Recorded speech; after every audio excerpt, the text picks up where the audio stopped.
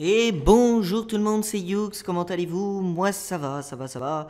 Euh, nouvelle vidéo aujourd'hui, nouvelle... Euh, nouveau femme tueuse, nouvelle femme tueuse. Voilà, j'ai galéré, bon bref. Euh, c'est plus vraiment une nouvelle série là, j'en suis déjà au cinquième épisode. N'hésitez pas à me dire ce que vous pensez de cette série. Et j'ai décidé de parler de Maribel. Voilà, c'est l'une des criminelles les plus connues de Grande-Bretagne. Euh, je vous fais pas patienter plus longtemps. Dit, je vais directement rentrer dans le vif du sujet. J'ai pas grand chose à dire pour le moment. Et puis on va commencer tout de suite. Voilà. Alors Marie Flora Bell. Elle est née le 26 mai 1957 à Newcastle, en Angleterre. Alors elle a été reconnue coupable en décembre 1968 du meurtre de deux jeunes garçons. Oui, vous vous rêvez pas. En fait, elle est née en 1957 et en 1958, elle est reconnue coupable du meurtre de deux jeunes garçons à l'âge de 11 ans. Elle va. En fait, elle, a commis des crimes, mais elle en a aussi subi. Voilà, c'est vraiment, vraiment une histoire euh, complètement. Euh, c'est bizarre, quoi. Parce qu'à 11 ans, euh, bon, je connaissais l'histoire avant de faire la vidéo, mais 11 ans, voilà, deux meurtres déjà à l'âge de 11 ans. Et oui, effectivement, elle avait presque 11 ans au moment des crimes. Alors durant son procès, on remarquera que son enfance n'était pas connue par la police. Elle n'avait auparavant fréquenté aucun service éducatif, aucun service social ou aucun service psychologique. Elle avait subi de lourds sévices hein, venant de sa mère qui s'absentait souvent afin de trouver un travail. En réalité, sa mère, Betty Bell, était une prostituée qui avait 16 ans au moment de la naissance de sa fille Marie. La relation avec sa fille, en fait, était mêlée de violence. Dès 8 ans, Marie aurait été obligée de participer à des plans à trois avec sa mère et son client. Pour cela, sa mère s'arrangeait afin de trouver des pédophiles qui seraient d'accord pour infliger des abus sexuels à sa propre fille. Vous pouvez voir à ce moment-là qu'il faut vraiment de tout pour faire un monde. Et effectivement, hein, euh, elle n'a pas subi que ça. Hein, euh, sa mère essayait de la tuer et de faire passer sa mort pour un accident. Lors des premières années de sa vie, euh, elle a vraiment beaucoup souffert, Maribel, et c'est son enfance qui aurait été l'élément déclencheur de son comportement psychopathe. Puisque oui, effectivement, elle avait conscience de ses actes au moment des meurtres. Maribel étrangle Martin Brown, un garçon de 4 ans, le 25 mai 1968. Je vais vous raconter le déroulement un petit peu de la journée. Alors Martin euh, Brown, c'était un garçon avec des cheveux très blonds, il était parti rendre visite à sa tante Rita, qui va le chasser à plusieurs reprises. Car la première fois, elle dormait en fait. La deuxième fois, il était venu très sale. Il avait mangé des bonbons en fait et il était venu euh, chez sa tante vraiment très sale. Il s'était éloigné, le garçon de de 4 ans, ne sachant pas où passer sa journée, il était parti dans des maisons abandonnées, où travaillaient des électriciens qui débranchaient des câbles électriques. À 15h30, trois garçons entrent dans une maison pour construire un abri afin de protéger les pigeons. Alors euh, ça s'appelle une pigeonnière, voilà. Ils possédaient respectivement 8, 11 et 16 ans. Et en fait, ils cherchaient de longs morceaux de bois. C'est à ce moment-là qu'ils vont faire une terrible découverte. De la salive et du sang s'écoule de la bouche d'un petit garçon qui gît au sol, les bras en croix. L'un des ouvriers se précipite sur la scène, vous savez, les ouvriers qui débranchaient les câbles électriques, et tente de le réanimer en lui faisant du bouche à bouche. Mais rien n'y fait, il y a du sang partout et le corps est froid. C'est alors que deux jeunes filles arrivent sur les lieux. Il s'agit de Marie et de Norma Bell. Alors on pourrait croire qu'elles sont sœurs, mais non, en aucun cas. Euh, elles sont amies en fait. Et euh, bah, elles se sont bien trouvées puisqu'elles ont le même nom de famille et elles sont amies. Alors euh, Norma, c'est un peu la, la complice. Elles sont pas, c'est pas tous les deux des criminels parce qu'autant que Norma c'est la complice, mais Marie c'est vraiment, c'est vraiment le psychopathe de l'histoire. Et euh, les deux amies en fait, elles se sont rencontrées en jouant dans le même terrain de jeu. Elles sont très jeunes, ont 10 ans, et Marie insiste à ce moment-là pour rentrer pour entrer euh, dans la pièce, voir euh, qu'est-ce qui se passe. Mais se fait chasser par un électricien qui lui dit de rentrer chez elle. Plus tard, la mort sera déclarée, la mort de Martin Brown, et la police pensera un accident. Mais Marie semble à l'affût de la mort de Martine. Tout excitée, elle, elle se rend même chez la tante qu'elle connaissait bien et lui dit que son neveu a eu un accident grave. Mais en fait, à ce moment-là, les ouvriers, les électriciens, ils se disent comment est-ce qu'elle peut savoir qui est la victime si ils ne l'ont pas laissé entrer dans la pièce? Parce que oui, effectivement, à ce moment-là, Maribel savait qu'il y avait un cadavre. Mais comment elle peut savoir c'est le cadavre de quelle personne? Voilà, c'est ça la question. C'est pour ça que elle est innocente à la base, tout le monde la pense innocente, mais elle est à l'affût vraiment de la mort du pauvre euh, petit euh, garçon. Alors le lendemain, accompagnée de son amie Norma, elle va poser un tas de questions très bizarres à la famille de Martine. Elle insistera même pour voir son cadavre. voilà. La mère de la victime, horrifiée, lui claqua la porte au nez. Je sais pas, c'est bizarre, t'as une jeune fille de 10 ans qui arrive, qui, qui vient de voir et qui dit ouais je veux voir le cadavre de votre fille. Je sais pas comment tu je sais pas comment tu dois réagir à ce moment-là. Alors le 29 mai 1968, elle et son amie Norma cambriolent et vandalisent une école maternelle à Scottwood. Scottwood, c'est dans la banlieue de Newcastle. Et ils laissent des notes anonymes afin de revendiquer le meurtre de Martin Brown. La police, qui voit la mort comme un accident, prend cela pour une simple farce.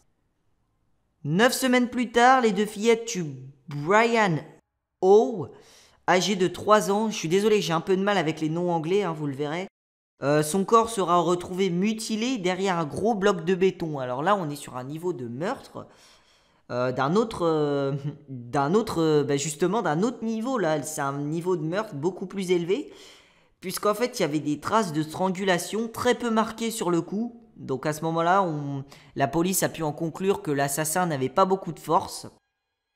Et justement, ce même assassin, il était retourné. Ça, ça c'est vraiment ça qu'on voit le, comportement, euh, le comportement psychopathe. Il était retourné après coup sur le lieu du crime pour tailler d'abord un N minuscule à laquelle s'était rajouté une barre, le transformant en M sur l'abdomen du cadavre avec une lame de rasoir. Le N, à mon avis, ça signifie Norma. Et le M, ça signifie Marie. Il a utilisé aussi des ciseaux, cet assassin, puisqu'on ne sait pas qui c'est hein, à ce moment-là, pour couper des mèches de cheveux, comme si cela était un jeu, hein, vraiment. Et, attention, accrochez-vous bien, ça c'est quand même extrêmement choquant, à entailler le pénis du petit garçon avec ces mêmes ciseaux. À entailler le pénis. C'est quand même dur. Hein. C'est quand même euh, très dur comme, euh, comme propos parce que là, c'est une fillette de 11 ans qui tue un jeune garçon et qui entaille son pénis. Je sais pas si. Voilà. Je, bref, je préfère rien dire parce que ça me, ça me dégoûte trop. Alors, la police de Newcastle va découvrir le corps à 1h10 du matin et comprend qu'il s'agit d'un crime et vont faire le rapprochement avec Martin Brown, puisque vous savez qu'il y avait déjà eu un garçon qui avait été justement tué. Euh, les deux meurtres en fait se ressemblaient étrangement. Alors forcément, on peut penser à un tueur en série. En se disant, la police à ce moment-là se dit qu'il s'agit peut-être bien d'un meurtre. C'est sûr et certain qu'il s'agit d'un meurtre puisque on a entaillé le pénis, on a coupé des mèches de cheveux, et même, encore pire, la police pense à un enfant. Et un enfant récidiviste. Et ils ont parfaitement raison à ce moment-là. Ils vont alors interroger tous les enfants de Scottwood, et Marie va accuser un garçon d'avoir tabassé Brian O, et d'avoir mutilé, et de l'avoir mutilé avec des ciseaux. Mais le garçon qu'elle accuse a un alibi solide, car lors du crime, il était à l'aéroport avec ses parents et sa grand-mère. La police à ce moment-là va se poser une deuxième question, comme on avait pu se poser euh, dans, la première, euh, dans le premier meurtre, puisque Marie n'avait pas vu le corps et avait su qui était la victime. Là, c'est une autre question qui va revenir dans la tête des policiers. Euh, comment est-ce qu'elle peut savoir que la victime a été mutilée avec des ciseaux? Voilà. Le 4 août, Norma Bell est interrogée et vraiment, elle va, elle va craquer, quoi, et va avouer que Marie lui aurait dit avoir tué le garçon de 3 ans. À ce moment-là, Marie, Marie Belle, elle était euphorique après son meurtre. En tout cas, c'est ce que son ami, son ami l'a décrit, euphorique. Et même, euh, elle se réjouissait de sa mort. le 7 août, durant l'enterrement de sa victime, alors ça c'est vraiment... euh, ouais, ça c'est vraiment bizarre. Euh, elle riait aux éclats devant une foule bouleversée. La fille sera à un enterrement, l'enterrement du- d'un garçon qu'elle connaît même pas, déjà tu sais pas ce qu'elle fait là. Et en plus, durant cet enterrement, elle rit aux éclats. Alors c'est à ce moment-là hein, que bon, l'inspecteur euh, Dobson, qui est euh, l'inspecteur principal de cette enquête, il, va décider de la réinterroger puisqu'elle avait déjà été interrogée et vraiment c'était bizarre puisqu'elle elle était au courant en fait que la victime avait été mutilée avec des ciseaux. Et seulement sa mère est à Glasgow à ce moment-là puisqu'il faut la présence d'un adulte hein, pour euh, interroger un enfant mineur. Et euh, son père est un criminel de la région, lui aussi, et il est interrogé pour un délit mineur. Elle décide alors de tout avouer sans la moindre émotion. Elle va dire oui, j'ai tué euh, Brian O. Et lorsque l'inspecteur lui annonce qu'elle va être euh, condamnée, elle répond ça m'est égal. Voilà, en gros, elle en a rien à faire. Alors le lendemain qu'elle apprend qu'elle va être condamnée, Marie et Norma sont présentes au tribunal de Newcastle. Norma Bell, elle est en pleurs, tandis que Marie, qui a commis les deux terribles meurtres, ne réagit même pas. Le 17 décembre 1968, Marie est acquittée de meurtre, mais condamnée pour homicide involontaire avec responsabilité atténuée, puisque c'est un enfant. Dès sa condamnation, Marie devient le sujet de beaucoup d'attention de la part de la presse britannique ainsi que du magazine allemand Stern. L'affaire va aussi se propager dans d'autres euh, pays, c'est quand même assez, euh, assez hors du commun, un enfant tueur, une fillette tueuse. Et sa mère parle à plusieurs reprises de Marie à la presse, sa mère qui était prostituée, qui vraiment c'est limite à cause de sa mère qu'elle a dérivé comme ça. Et pour gagner de l'argent en fait, elle donne souvent aux journalistes des écrits concernant sa fille afin de générer des revenus. Aujourd'hui, à l'heure actuelle, sa mère, Betty Bell, est morte, tandis que Marie est sortie de prison à 23 ans. Elle a passé 12 ans euh, de condamnation. Elle a même eu une fille, Marie Bell. Euh, il est dit que c'est une mère euh, qui n'est pas violente, qui aime tout à fait sa fille. Durant tout ce temps en prison, elle a passé les meilleures années de sa vie, selon ses dires. Elle n'est aujourd'hui plus habitée par l'envie de tuer, même si elle reste cependant le symbole du mal absolu en Grande-Bretagne. Voilà, c'était l'histoire de Marie Belle, la fillette tueuse de 10 ans qui a étranglé ses victimes, deux garçons, un de 3 et un de 4 ans. C'est une histoire euh, connue, très connue en Angleterre. Faut savoir qu'elle se classe euh, dans les trois affaires de meurtre les plus populaires du Royaume-Uni. Euh, après après l'affaire de Jack l'Éventreur et après celle des enfants tueurs de Liverpool. Voilà.